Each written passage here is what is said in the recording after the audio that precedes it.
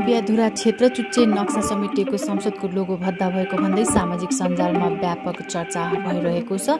यसको विरोधमा प्रधानमन्त्री केपी शर्मा ओली र नेकपा सरकारको पनि विरोध भइरहेको छ।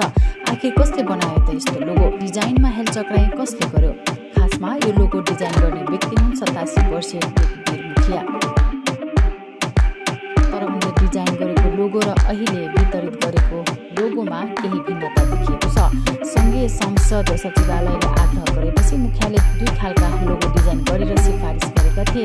एउटामा जोको बालाले घेरिएको प्रतिको चिन्ह थियो अर्कोमा महिला पुरुषको हातले समेटिएको नेपालको नयाँ नक्सा र राष्ट्रिय झन्डा थियो।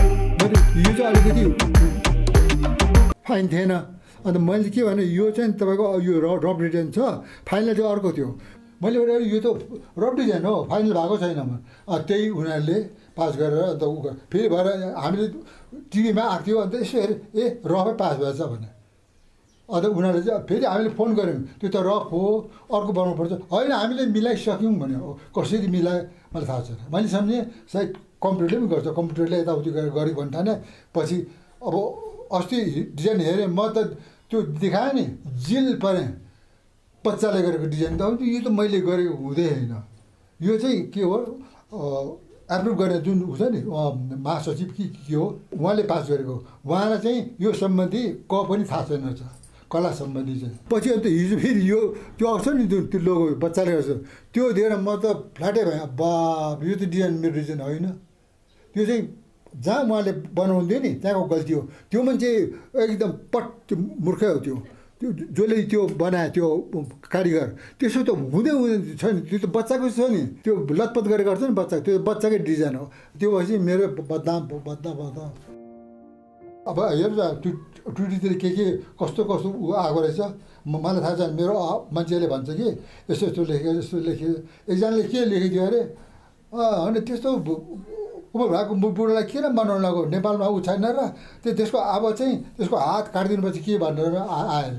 अरे अन्त अब यस्तो यस्तो हेर्नु छ उनीहरूले मलाई नक्सा दिएको छ मसँग अहिले त्यो नक्सा पनि छ। त्यही हेरेर मैले गरेको हो नि। त्यसको लागि खास बनाएको कारण उहाँले त्यसको लागि नै हो। चाडहरू जुन अहिले बनाए चाडहरू हुन्छ। बौद्ध बेलाको त्यसपछिको। यो बनाएको यो पनि। त्यसपछि यो। आजसम्म मैले चाडहरू बनाइसकेँ यो बौद्धदेखि नै त्यो राजाको पालदेखि नै। अब तपाईँ त्यो म चाहिँ के गर्छु भने डिजाइन रफ डिजाइन गर्छु है। अन्त उनीहरूलाई छान्ने दिन्छु। गरेर त्यही डिजाइन एउटै डिजाइन किसिमको रङले। अन्त उनीहरूले यो चाहिँ पास भयो भन्छ। त्यो पा पास भएपछि चाहिँ त्यसलाई म पुरा फाइन गर्छु।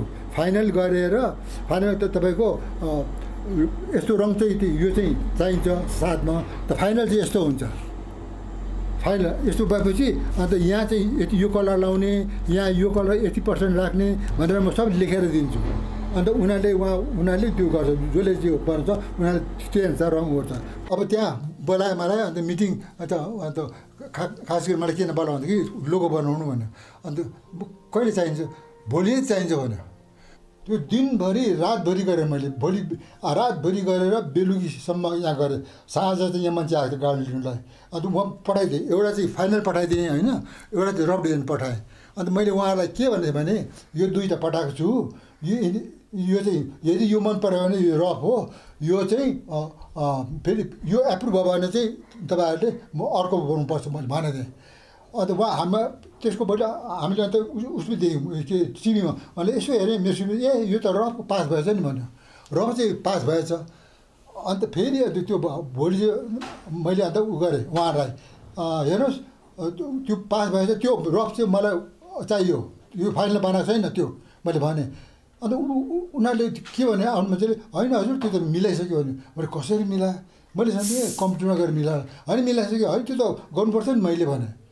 त्यही बास। अनि त्यतिकै अब त्यो भयो। त्यो त बच्चाले त्योभन्दा राम्रो त बच्चाले गर्छ।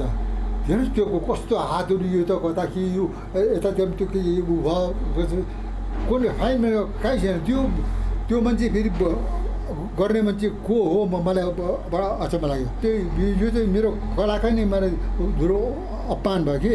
यो चाहिँ मैले त्यसको लागि गरेको मैले देशको लागि भनेर गरेको यदि मैले चाहन्छ भने म तपाईँको त्यो पैसा म अडतिस हजार कति म उनीहरूलाई दिन्छु। मलाई पैसा होइन तर मेरो कमसेकम अहिले मेरो इज्जतमा नै त्यो अब किसिम किसिम लेखाएको छ। कसले चाहिँ कसैले चाहिँ हात काटिदिने भनेर के के